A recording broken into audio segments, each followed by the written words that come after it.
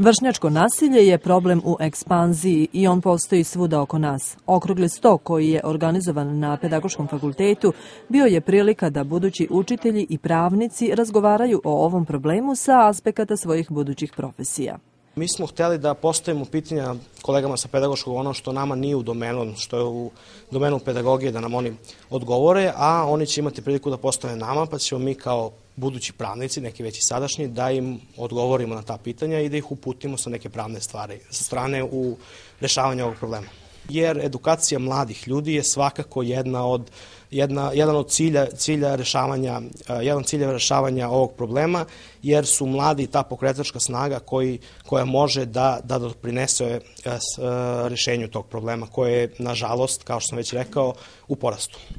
Za studente pedagoškog fakulteta ovaj okrugli sto je od velikog značaja jer se vršnjačko nasilje dešava u većini slučajeva u školama u kojima bi sutra oni trebalo da rade tako da je priprema za rešavanje problema te vrste i tekako neophodna još tokom studiranja. Veoma važno e, zato što ćemo jednu temu koja je danas veoma upečatljiva e, i rasprostranjena i u našem gradu i u svim ostalim gradovima, to je nas, vršnjačko nasilje, koje često mi okrenemo glavu i ne vidimo o čemu se dešava ili tek kada bude naše dete u pitanju ili naš brat ili sestra, mi tada vidimo e, koliko je to u stvari problem i zbog toga je ova organizacija i ova tribina organizovana danas, a i da upoznamo svoje prijatelji, drugovi i kolege sa pravnog fakulteta, da se družimo i razmenjujemo svoje iskustva.